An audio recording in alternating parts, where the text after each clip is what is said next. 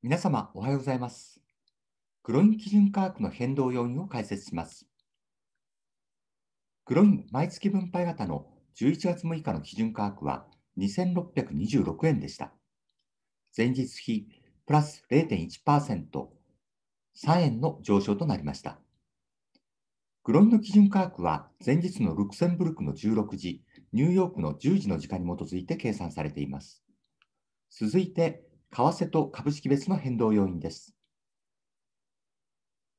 基準価格の変動のうち、為替要因がマイナス7円、株式要因がプラス10円でした。5日の株式市場は欧米ともに上昇しました。米国では大統領選挙の結果から大規模な増税や規制変更はなさそうとの見方から S&P500 指数はプラス1.95%上昇しました。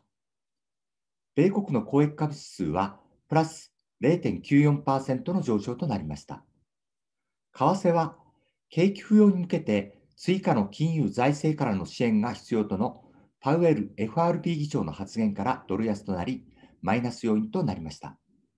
以上です。